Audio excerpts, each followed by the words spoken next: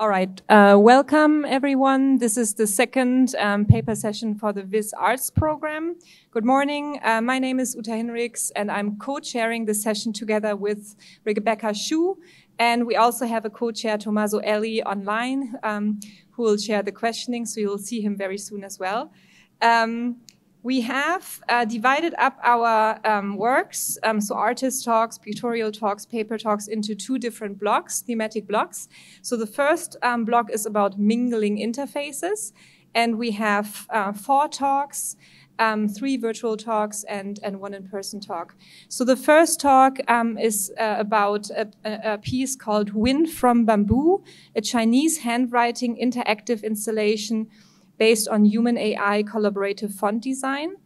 Um, and it's presented by Jin Song um, from the Sichuan um, Fine Arts Institute. And I should um, tell you, so we, we will do, uh, we have group talks and we will do like a joint Q&A session um, after the first four talks. So please um, put your questions on Slido, even for the in-person attendees, and then Tommaso will basically moderate the questions. So um, if we can please see the video from Wind from the Bamboo, the first one. Thank you. Hello, everyone. I'm Jin. Thanks for having me today.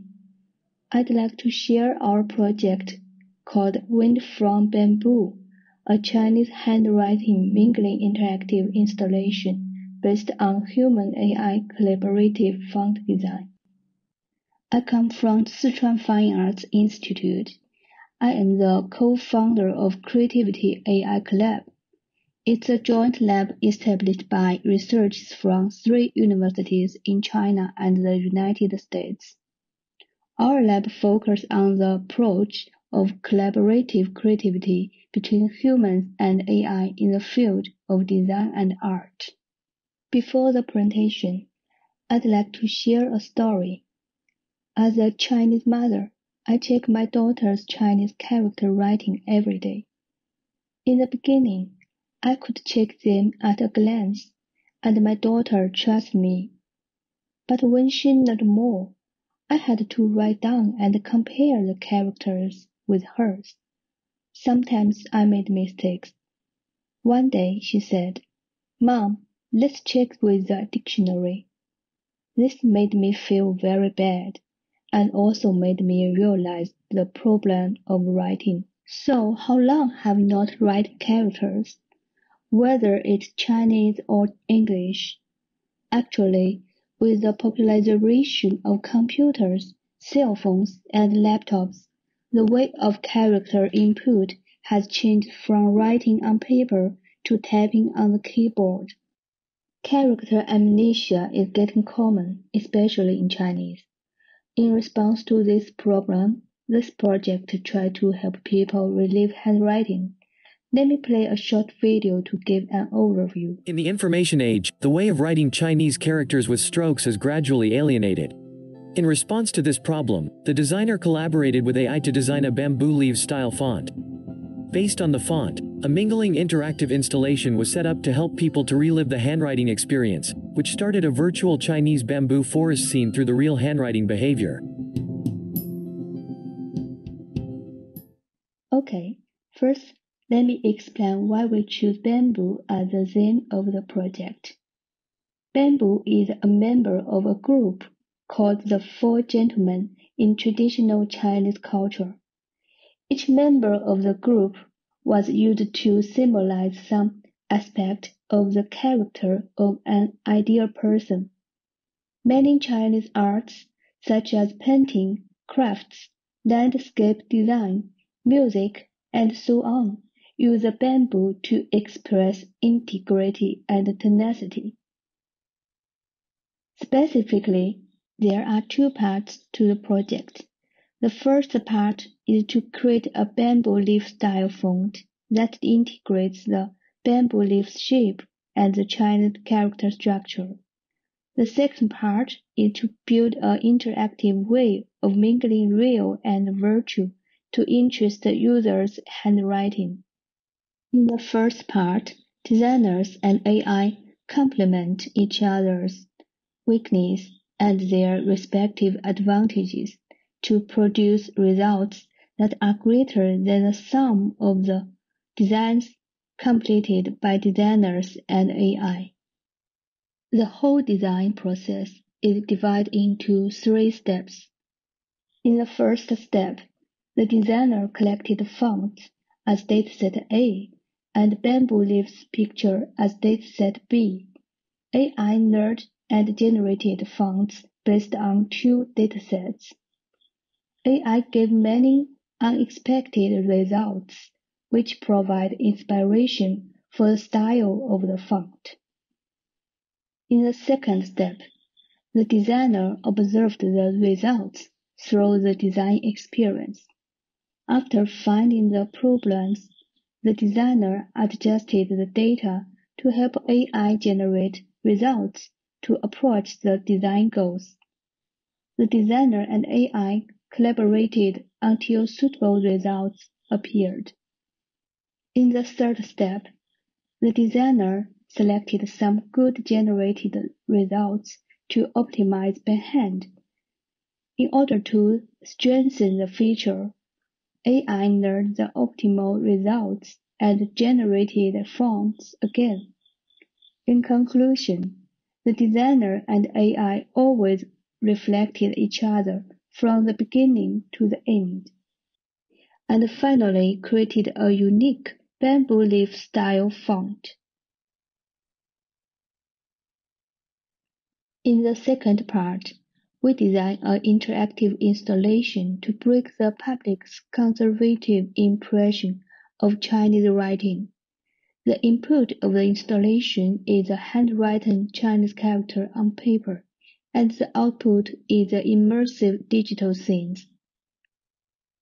It starts the virtual sensory experience through the real handwriting behavior, achieving a mingled experience effect that cannot be achieved by a single real or virtual experience.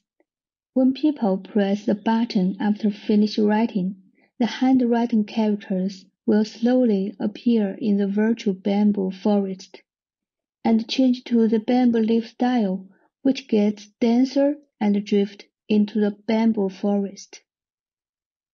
Although the trend of keyboard input mode caused by informatization is challenging to change, which makes people gradually alienate the handwriting mode of Chinese characters. Through the project, we still believe that Chinese handwriting will be perceived and experienced again in new ways.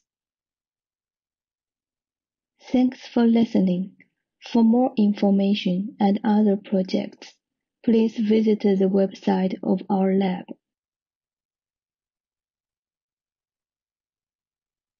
Hello everyone.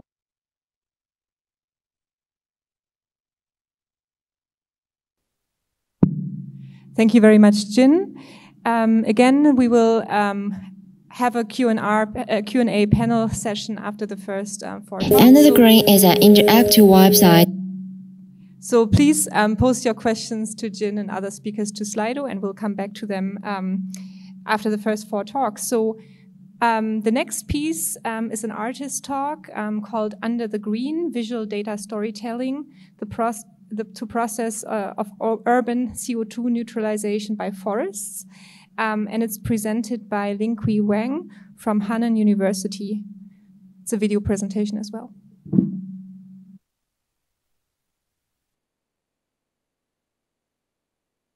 Under the Green is an interactive website that visualizes the process of urban carbon dioxide neutralization by forest. In the process of industrialization of the city, the production and living of people produce lots of carbon dioxide gases. Forests absorb this carbon dioxide from the atmosphere through photosynthesis. The soil organic carbon is decomposed by microorganisms and returned to the atmosphere as carbon dioxide. This is the carbon cycling process which integrates urban and forest spaces. At a certain point in time, carbon absorption offsets carbon emissions, that means carbon neutrality. Micropictures or microwave of Hunan Province, China. From 1996 to 2020, through forest management and promoting the integration of urban and forest space. Based on forest management and economic development of Hunan, it can be divided into five regions Western, Southern, Central, Northern, and Eastern. Carbon density is an important indicator of the capacity of forests to sequester carbon. It depends on forest cover and forest stocks. Higher value of carbon density means greater carbon fixation capacity. Carbon density, carbon stocks, and forest cover shows an increasing trend year on year in Hunan.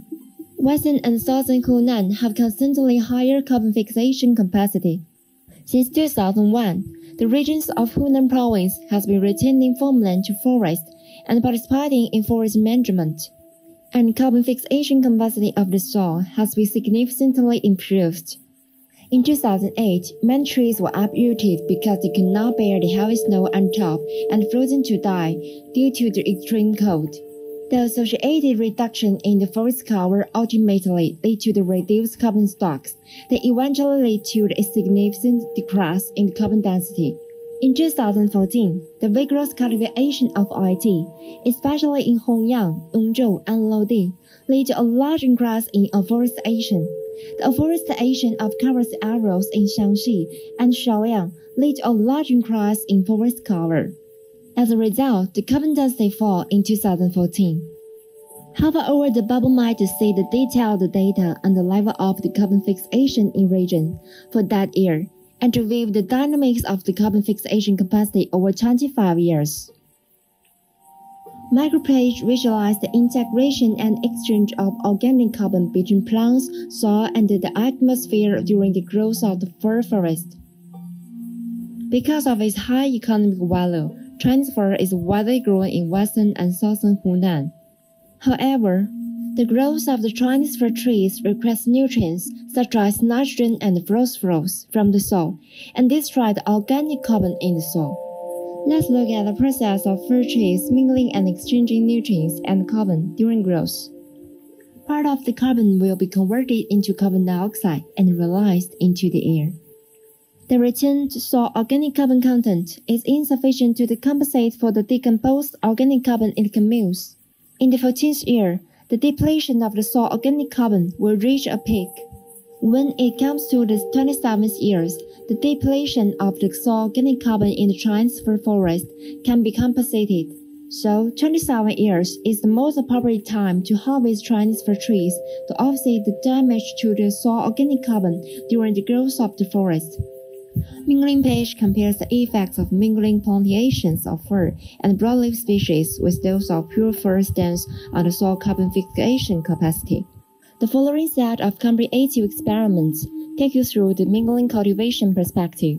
The comparative experiment below shows the mingling plantation of fir forest with broadleaf species can be prove the depletion of soil organic carbon. Mouse hover over the visual elements to display detailed carbon fixation data for each component in detail. Drag the timeline to view the changes in the carbon fixation for every growth year. Experimental data shows that real Mandarin Chinese for plantation. The mixture with 20% micromaterial leads to greater fixation capacity and better growth of plantation. The video and description of real-life working scenario of our data provider. The above page shows in detail what we wanted to convey, including the original motivation and visual style employed, why we choose raw data on forest ecology and this topic. Moreover, this page further explains the previous model's visualization content. We also express our respect for the forest ecology scientists who are rooted in mountains and dedicated to the common destiny of humanity. And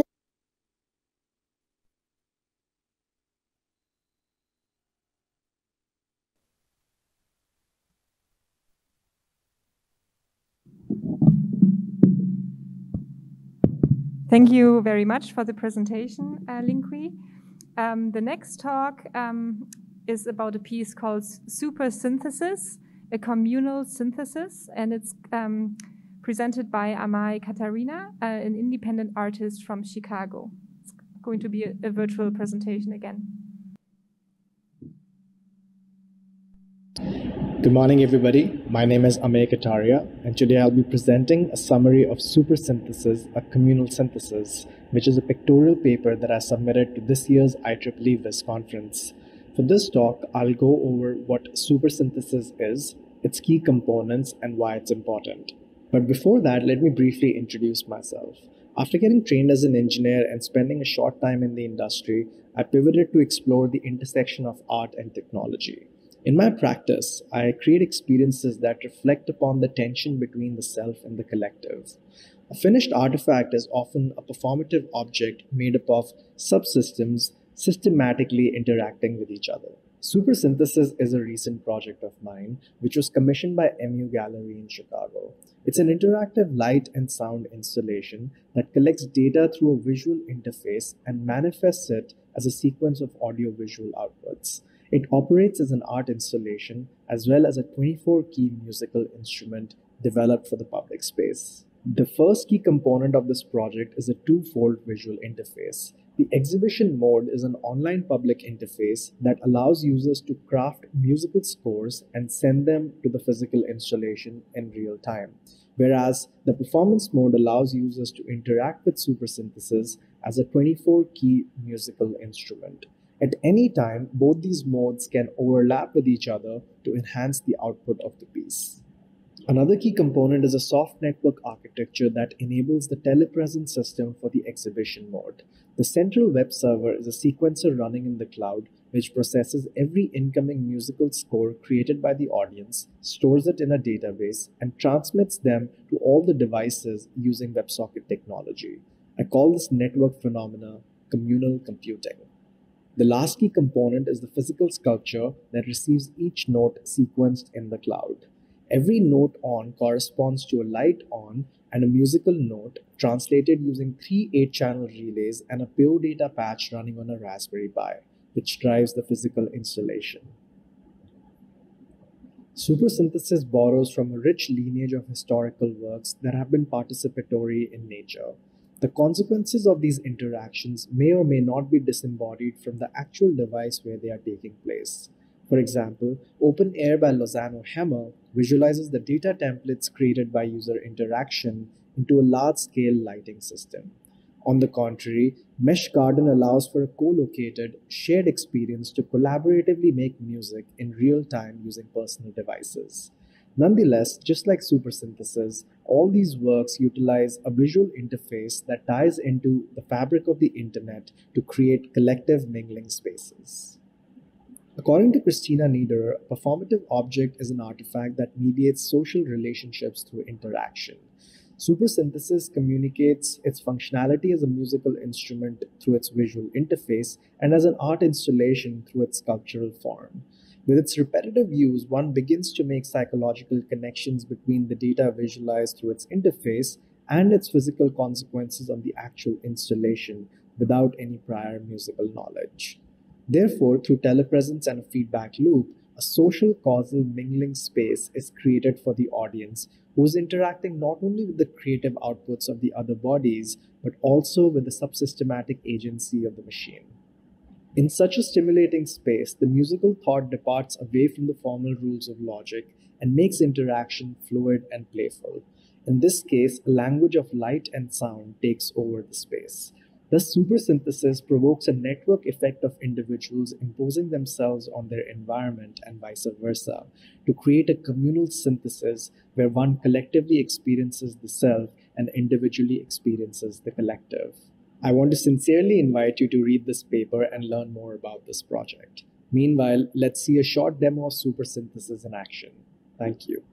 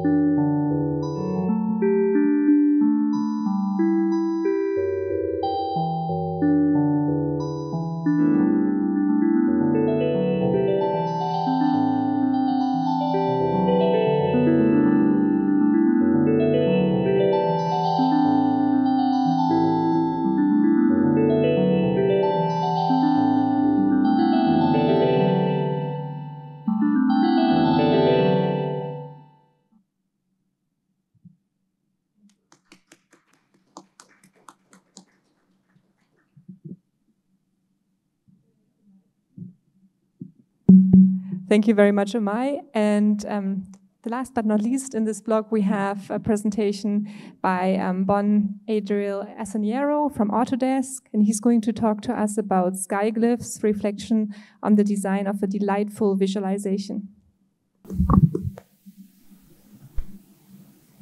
All right.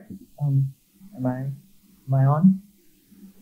All right. So good morning, everyone. Uh, my name is Bon Adriel Aseniero, and today I'm going to be talking to you about skyglyphs, reflections on the design of delightful visualizations. I am a senior research scientist at Autodesk, um, but this project was something that I made when I was still an intern over there in 2020 uh, with my then PhD supervisor, Sheelagh Carpendale, and my mentors at Autodesk. All right. Um, Um, with my mentors at Autodesk, George Fitzmaurice and Justin Matejka. Okay, so I assume that many of us in here are visualization designers or at least have an interest in knowing how to design visual representations. And we know how to make these. We have a lot of research that talks about um, how to create representations and visualization tools for analytical tasks, uh, maybe even ab abstract tasks, and different data sets to support. However, I am more interested in making non-conventional data representations, perhaps some that may inspire delight. The thing though, um, I mean, just look at the submissions that we have at the VisAP 2022, right? These are very cool um, data visualizations or sonifications, different types of artistical stuff that may go beyond analytical tasks. And they tend to go into this wave of data humanism, which is a movement that tries to bring back data into a more personal realm.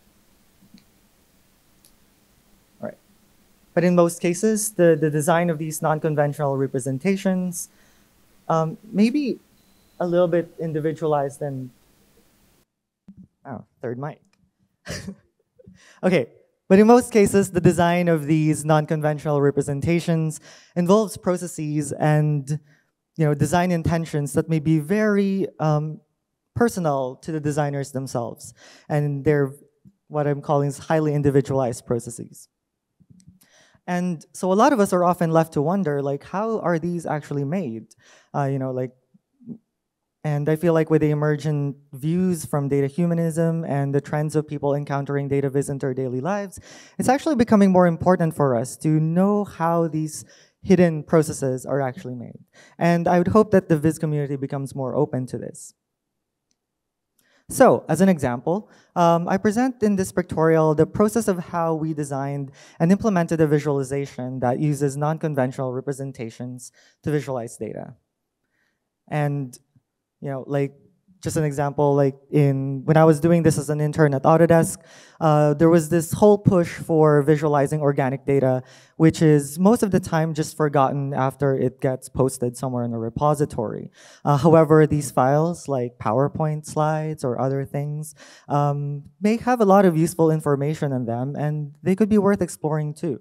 Uh, and you know, maybe sometimes they could lead into generating new ideas or even finding connections across the company, like say different authors of these uh, files. But the question we had then was, how do we make this more interesting uh, rather than just simply using a search browser or a file viewer? Because um, you know, this isn't exactly a task that people like employees are expected to have, right? So we wanted to do something that is more fun uh, and may induce serendipitous browsing. So our approach involved designing a data visualization tool that can be placed in the hallway of the office or online. And we took about 3,500 presentation slide decks um, that are posted by employees on our repository.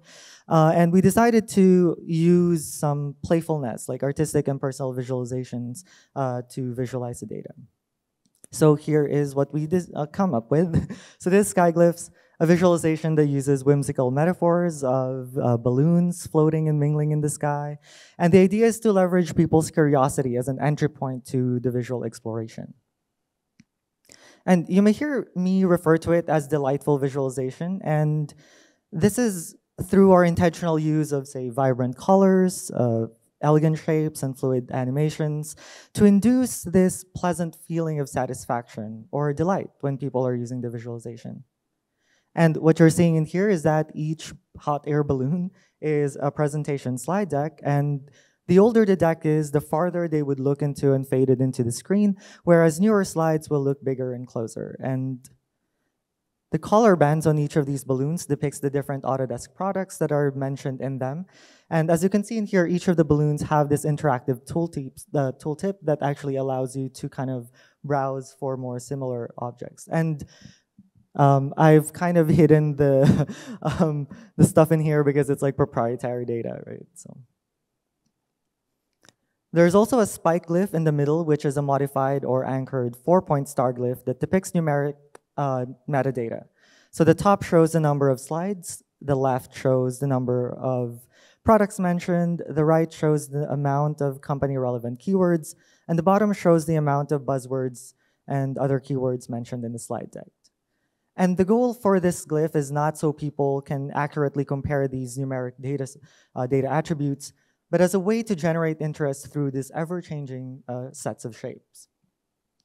But of course, we also implemented basic features like grouping of data points uh, using data attributes like the products mentioned, uh, the person who shared it, uh, keywords and buzzwords, and of course, we also allowed people to sort uh, the balloons based on the numeric attributes. So when you have a lot more data points that go beyond the screen, uh, you can go to the overview, which allows you to see more data points because SkyGlyphs is kind of a unit visualization after all. And you can still make groupings and such, which will remain when you go back into the normal view. And just to add some more fun interactions, we also implemented a popping feature uh, where if you long press on a balloon, uh, it will start to expand and show a preview of its inner contents. And if you keep pressing on it, it will just pop. and then it will reveal its um, individualized uh, contents. So that was the current uh, implementation of Skyglyphs, but I would like to focus um, on not just on its features, but also on the design process that we took to create the delightful visualization. So basically, um, how we took the inspiration of hot air balloons and other balloons floating in the sky as the delightful metaphor. So I encourage you to read the pictorial because we illustrate it more in there and explain in detail why we choose the balloon metaphor and how we developed its design. Like say, for instance, we added our low fidelity storyboards as well as maybe sequential sketches um, that eventually became features of the implemented visualizations. And from reflecting on our own process, we illustrate how an inspiration, just for an example here, a flower, can be abstracted, uh, abstracted to its essential forms like flower head, we'll have uh, the petals, the leaf, maybe the stem, uh, as well as maybe behaviors, know, like maybe the flowers can sway through the wind, things like that. And these basic shapes are, you can then map these to, you know, our visual channels or visual variables, um, like positions, length, color, which then gives you a representation. However, we also have to realize that it's not just the shapes and the forms that is important, but the overall theme and look and feel of the, uh, the visualization um, actually affects how people can perceive your data. Which, as you can see in here, these are two illustrations of flowers, but both of them evoke very different affect from each other. And either can be more appropriate than one another. Like say, for example, if you're using uh, a more somber data set, you'd probably go with the darker theme rather than the happy looking one. All right.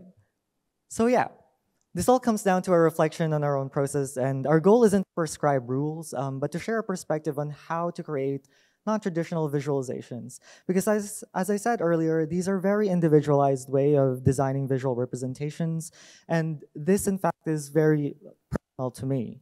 Um, and it also evolves through time. Uh, and if you're interested, I actually go more in depth on this topic with other visualizations that I designed in my thesis, um, which got an honorable mention award from VGTC. Uh, it's kind of like a pictorial thesis, really, and I'm kind of glad that VGTC was like, oh, let's give him honorable mention. All right, but that bring, brings me to the end of my talk, and I'm happy to answer questions later on in the panel. Thank you all.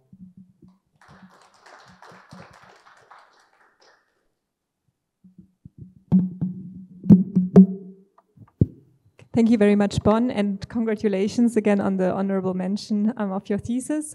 I would now like to invite all the speakers um, back here on stage. Um, could we switch to the Zoom call? Um, perfect. So we have all speakers. We are unfortunately missing uh, the author of Under the Green, for some reason. I'm not sure why she's not here. We tried to reach her um, during the talks. Maybe she will join us in a second. Um, but I'll hand it over to Tommaso, who will chair the um, Q&A panel now. All right. Thank you very much, Uta. Can you hear me okay from the room? Yep. Yes, perfect. Yeah. All right, great. Thanks for having me here. Um, so uh, the first question is for Zen, uh, Wind from the Bamboo. So can you provide more details on the collaborative process between the AI and the font designer? in the sense how did the font designer's choices influence the AI process and vice versa?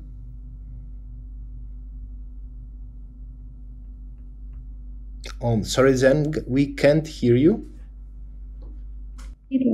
Okay, can you hear me? Yeah. Yes. Sir. Okay, thank you.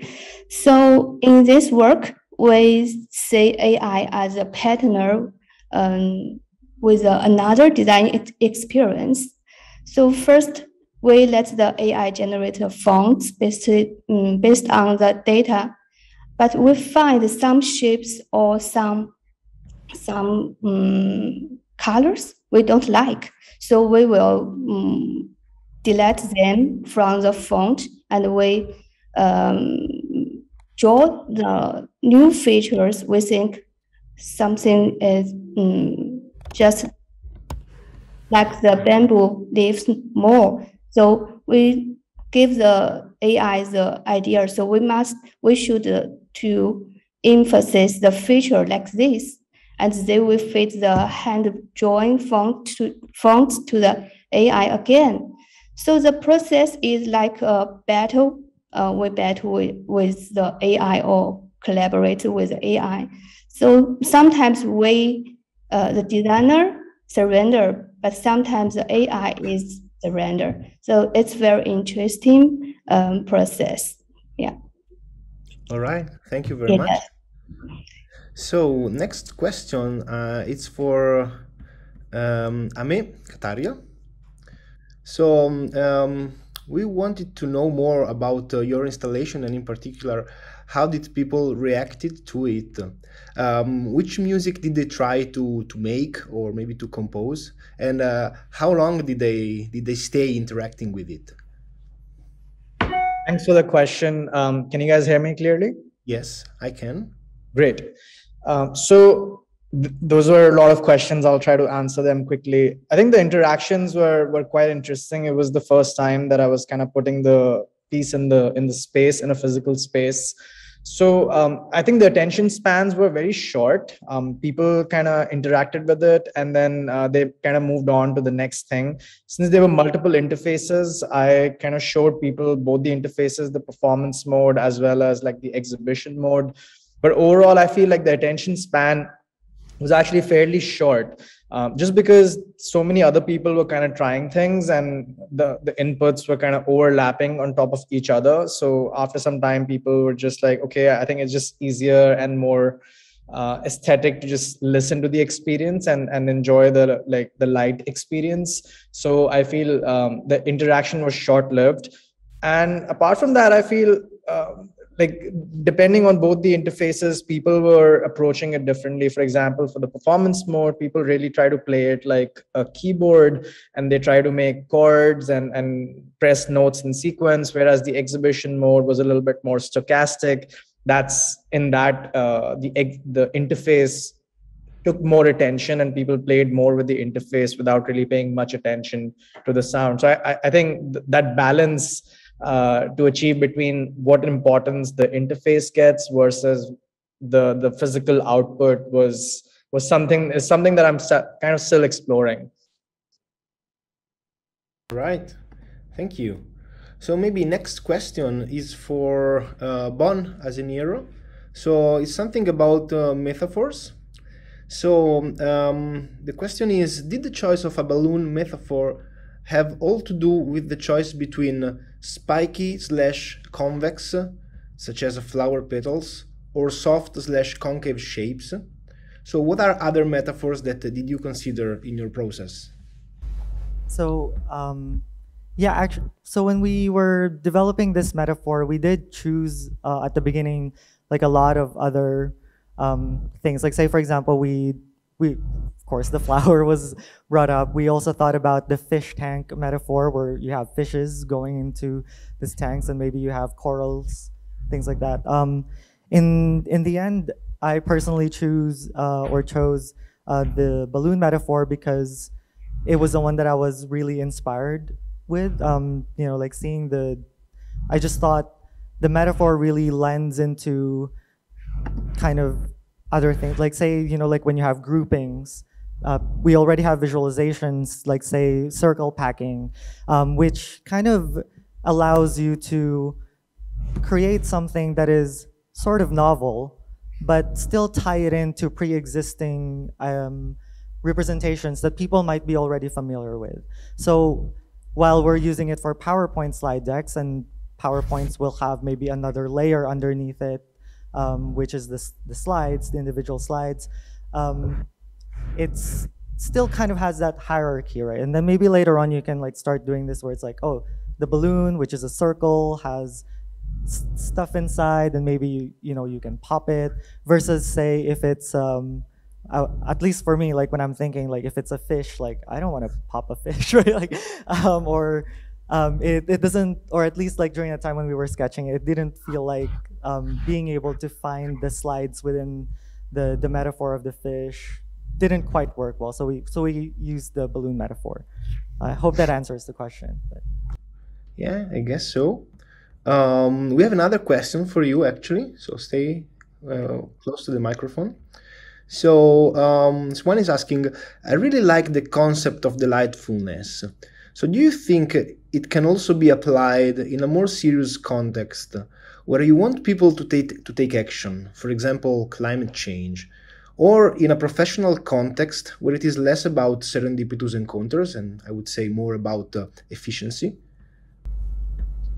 Maybe not so much about efficiency. Uh, uh, this is something that we really want people to just be curious about and then you know when when they look into it, it it's kind of hard to actually browse for the, the individual items inside of it but maybe there's a way to to make um, to make that more efficient later on but i would say that the concept of delightfulness would actually really help in other um, areas as well like say for example in climate change um, at least personally a lot of the things that i encountered all online are like climate doom and doom and gloom, you know, those kinds of things. Um, but you know, if you want to be doing something that's maybe a bit more climate positive, uh, where you're looking at, say, you know, oh, we, are actually having uh, more, more and more green sources of energy that is being created. I think you may be able to use like something that is a more delightful metaphor uh, versus more somber ones. Um, but going back into the the like the more professional settings, I actually think that um, while maybe skyglyphs isn't the metaphor that you should go to in for that um, for professional settings, I would say that you can still have that you know pleasant feeling of satisfactions when interacting with data online. Like I don't think that just because data analysts are using your tool, it has to be like plain and boring. Um, they are still people. They could still have um, you know some satisfaction when uh, looking at their own data. Uh, but yeah. Can I can I actually ask a follow up question? Um, um because like you are heavily working with metaphor, but I was actually like giving the question to uh, Jin and uh, Mai. Like, does it apply to more abstract um, visualizations like Amey's um, installation? Like Amai and Jin, would you consider your installations like delightful visualizations, or do they include that kind of concept? I'm just curious to expand that beyond the idea of like more concrete metaphors, I guess. I can probably say say something to that. Yeah, I think it, it does. Like, for example, I was working with the metaphor of a wave. Um, that's what I took and I abstracted the elements of the wave and I kind of broke them down into individual lights. And then the, the interface that I was developing was working through the metaphor.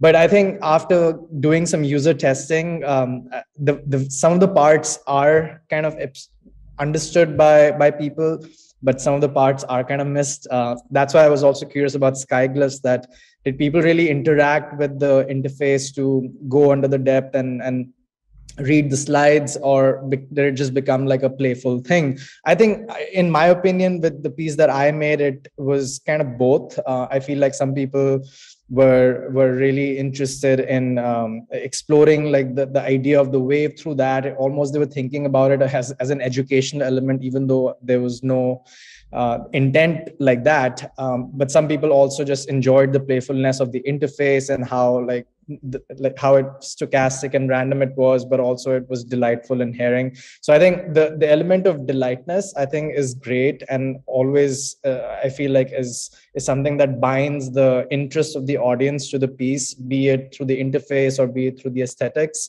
And i think the metaphor overall i feel the, the metaphor of the wave helped me stay with the project a little longer. So I think with the term with, with skyglyphs, the metaphor of this uh, hot air balloon gives you like an anchor point. I feel, in my opinion, that helps you kind of create a framework for your project. And similarly for for super synthesis, waves and the shape of a wave became like a, a framework for the project to kind of build upon.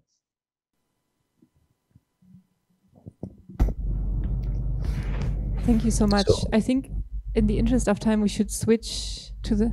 Oh, we have two more minutes. Okay. Do we have more questions, Tommaso? No, I wanted just to offer Zheng the, the opportunity to also address uh, um, the, the questions about delightfulness for her work. Yeah, yes. So for, from, for our work, uh, I think the, the, the value for the work is for children to know uh, before the iPad, before the iPhone, uh, there are so many interesting handwriting input the character uh, on the paper. Don't, um, so that's for, for because Chinese character is different from the uh, Western uh, font. There are, you know, there are uh, about uh, 16, um, 6,000 uh, characters in one font. So the AI for the Chinese font is to improve the uh, design pro um, efficiency to let people to make the font easily and for the children to know the Chinese font uh, to you know different ways. So in this way, so I think maybe in in Western world the AI for the font design in um, is not um, same as in Chinese in China. So uh, that's that's that's my opinion. All right, thank you very much. So I guess uh, we don't have time for any other questions. Can you confirm, Uta? Uh, I think we should move on to the All right. presentations. But let's thank the speakers again.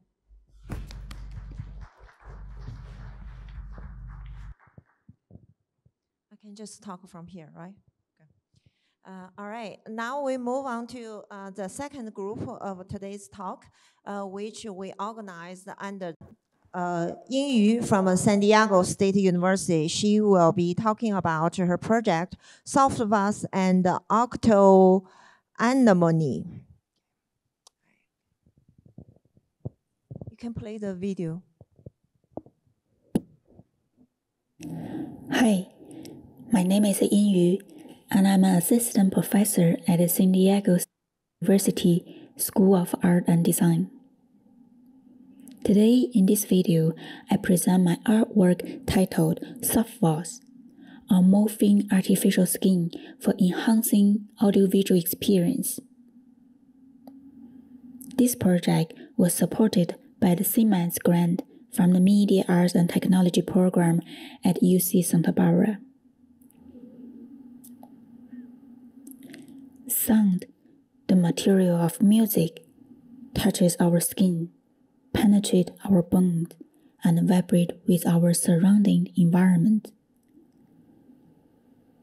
We listen to sound, recording sound, and create sounds with new technologies.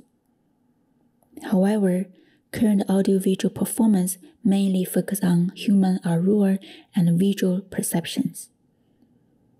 What if our body and skin could help people to experience sounds from new dimensions? The goal of this project is to enhance audiovisual experience by reimagining our human skin through soft wearable robotics. SoftVoss is an artificial skin morphing its appearance by sound information. The title was inspired by the British fashion designer Alexander McQueen's 2001 spring show, Voss. And this work is my salute to him. The realization of SoftVoss has three main components sound information, electronic system, and artificial skin.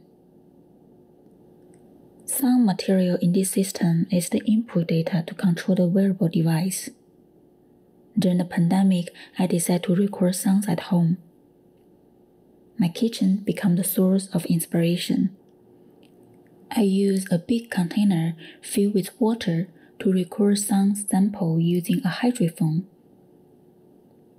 After selecting four sound material from the samples, I then use a music synthesizer module called Morphagene to transform the sound by changing its time scale, speed, and splices.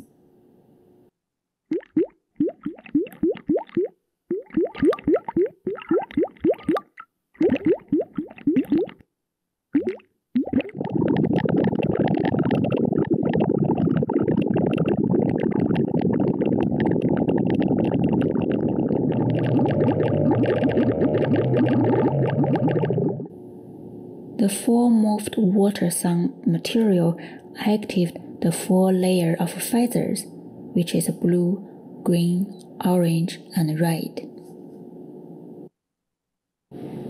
The electronic system contains hardware components such as microcontrollers, pumps, and valves.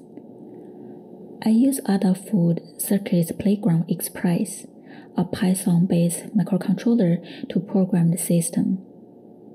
The system converts the sound information into real time data to enable the airflow to the desired directions. In an exhibition setting, this system can be transformed into an interactive installation where four microphones capture sounds from different directions to activate each layer of the feather. Finally, for the artificial skin, I fabricate with a skin-safe silicone rubber. The shape of the module is inspired by birds. The ratchet is used for connecting the tube system. And the red pouch is the inflation mechanism. This actuation combines the force of air pressure and gravity. By folding the actuator, the feather arranged towards downwards due to the gravity.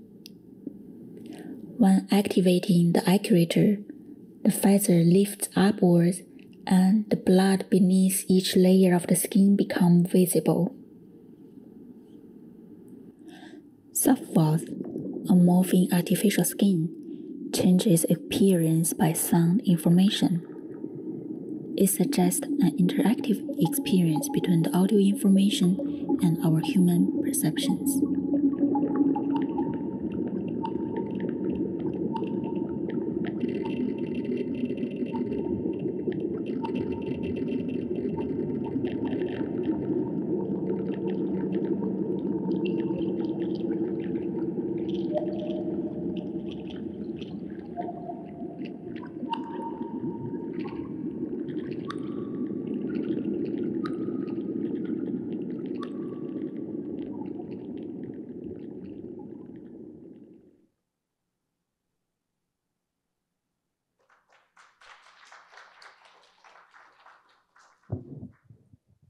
All right.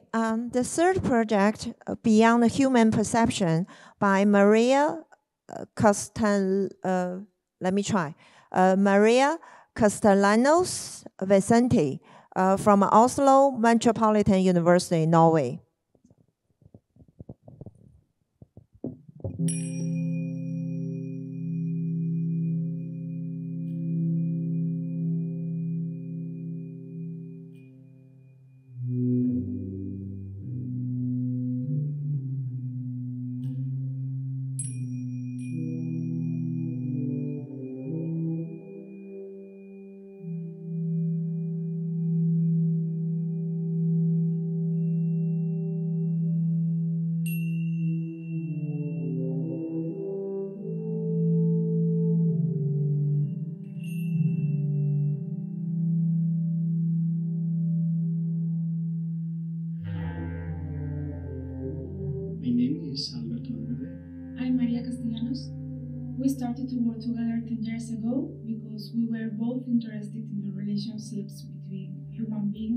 And we also, we also centered our work in the research about how enhance human capabilities, and how to promote uh, the communication between human beings and plants through the creations of complex systems. Beyond human perception is the next step of our previous work because we are really interested in the capabilities of other living beings like plants to perceive things that humans cannot. We have been using our sensor Chlorophylla 3.0, a sensor that allows us to measure the electrical oscillations that take place into the plants. We realized that these vibrations depends of the surrounding of the plant like changes in temperature, sound, CO2, proximity of other plants, proximity of humans, etc. And we can register the immediately changes into plants. We record there four short concerts for plants and humans where we register all the data for the two living beings. The key of this artwork is the data and how we process this data to transform into a video installation. On the one hand, we measure the electric vibrations of plants with our sensor.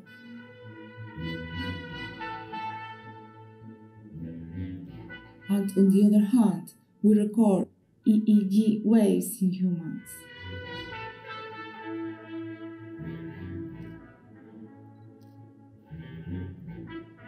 However, these two measurements are very different and we cannot compare each other.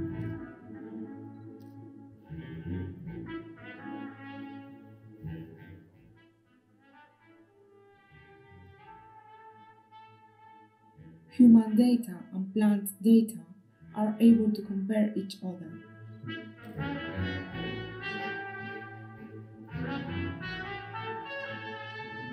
This data can also be displayed graphically thanks to an algorithm that we developed that allow the audience to see the data through the shape of a little spheres that are moving within the geometric shape of a torus. Each little sphere represents each recorded data. The graphic representation of human data and plant data can be seen simultaneously in a video allowing the audience to think patterns by comparing both living beings' reactions to the live music. After this research, we think that uh, maybe plants and humans are not such different as we usually think, and maybe the key is to looking for a language beyond humans to promote the communication with other species.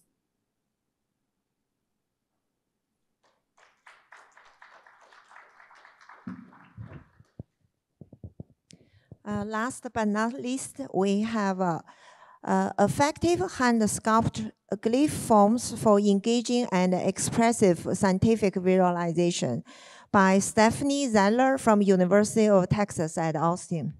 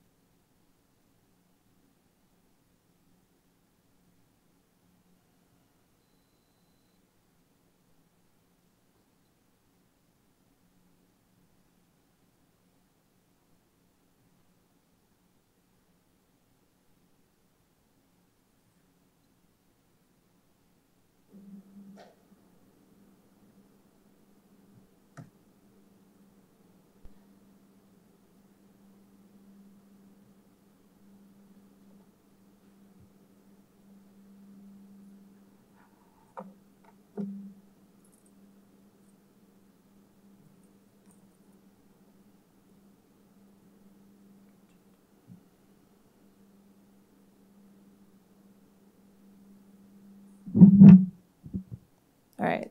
Okay. Sorry about that. Um, hi, everyone. My name is Stephanie Zeller, and uh, I'll be talking to you for a bit about our paper, Affective Hand-Sculpted Glyph Forms for Engaging and Expressive Scientific Visualization. So affect has been defined in the literature as the myriad ways in which we respond emotionally to objects and environments. Affect correspondingly plays a significant role in communication, engagement, and problem solving for all categories of visual imagery. The emergent affective quality of any image, composed of specific color, shape, form, composition, and textural properties, amplifies and moderates our sense making about its content. There's a rich history of employing affect theory in visualization to consider important aspects of empathy, trust, and connection in viz design. Bartram et al. and later Anderson et al. identified features of affective color palettes for categorization in information and geographic visualizations. Scientific visualizations contain multiple, often co-located components that also contribute to affect in addition to complex color properties. Glyphs are one such component. However, there is yet little to no research investigating how object properties related to form or shape and texture contribute to affective impressions in the context of sci-viz, particularly for abstract forms. The motivation of this work was therefore to explore, building on the work in color and affect, how we might begin to study the complex affective assemblages produced by abstract glyph objects encoding data structures in digital space.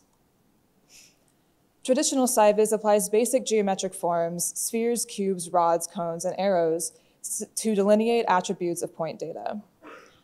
The selections in commonly used Viz software, like ParaView, limit users to these four options. Our prior work found that generating glyphs using clay and the human hand drastically increased the range of possible glyph forms and their qualities, and therefore the number and type of possible data encodings. To understand how these hand-created forms produce affective responses and which attributes contributed to these responses, we conducted two sets of studies using two different sets of glyphs. We drew first from the categories in the PAD model of affect, asking participants to place glyph images in each category based on feeling. We found that these categories were too complex and restrictive, and further that our initial set of glyphs was too anthropomorphic, which heavily skewed category placement through biases attached to each form's real-life analog. In order to achieve better distribution and consistency of results, we generated a set of 87 hand-created clay glyph forms, according to prior work in design, gestalt, and affect theory. We began with sets of spheres, cubes, cones, and rods to sculpt the second set of forms, drawing on design practice involving both the standard elements of design theory line, shape, form, and texture, and employing an iterative exploratory method building up from the most basic forms and compositions. We extrapolated from these shapes, creating a variety of forms incorporating Gestalt principles, enclosure symmetry and continuity, and affective principles, pointiness, curvature, and texture. We arrived through this process at three key taxonomic axes, curvature, profile complexity, and texture. We conducted a second study based on our pilot results, asking participants to place the new glyph images within a simplified two-dimensional affect space, using colloquial terms for ease of interpretation. We amalgamated the complex set of results across valence and arousal categories for each of the 87 glyphs by relative percentage use, including instances when participants placed a glyph form in a neutral position on the axes we found that roundness, angularity, complexity, and simplicity influence affective response, evidenced by the distribution of quadrant placements of diverse forms. Further, these aspects combine in specific ways to produce specific results. The more round and simple a form, the more likely it will receive a low arousal, positive valence placement. The more angular and complex, the more likely the form will receive a high arousal, negative valence placement. The more anthropomorphic a form appears, the greater the biases introduced to their placement along the axes. Many participants commented that the forms were beautiful, warm, interesting, relatable, and strange. Most assumed that the forms were real in some sense, that they existed in the physical world as tangible objects with materiality, size, and weight. The knowledge that they were not computer generated appeared to further interest and gratify many participants who proceeded with the task with a clear idea concerning their affect. Further, the consistency and therefore predictability of form placement decreases with the complexity of the form's profile. A majority of forms placed in negative quadrants lack the gestalt characteristic of enclosure. Many had long, spiky, or angular tendrils, holes, multiple distinct components, indicating that two separate objects had been brought together or were incomplete in some manner. Many shapes placed most often in negative quadrants were asymmetrical. In contrast, many of the forms placed most often in positive quadrants were highly symmetrical and enclosed or complete and unbroken. There's no singular high confidence predictor of affect placement, but rather the components of form qualities produce affects specific to the emergent results of those components. In order to direct this affect towards specific ends, design, gestalt properties, and communicative intent must be carefully considered. Further, as large multivariate simulation data continues to increase in size and complexity, a broader, more diverse, and more expressive visual lexicon is required to produce both analytically and communicatively useful visualizations. Teasing apart and testing the many factors at play here will require the development of new testing methods perhaps based in part on artistic design theory principles and drawing from post-humanist approaches to affect. Though preliminary and exploratory, this work has opened the door to considerable future investigations of shape, materiality, association, color, holistic design analysis, and methodology approaches. Uh, thanks so much for your time, and I'll be happy to take questions during the panel section.